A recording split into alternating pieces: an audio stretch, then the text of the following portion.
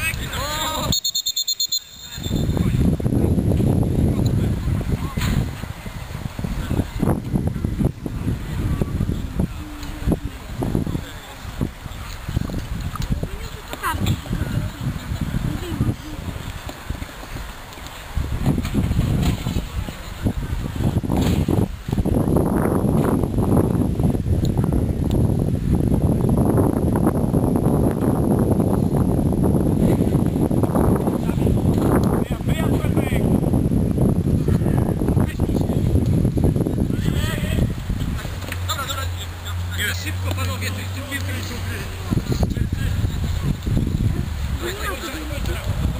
Brawo!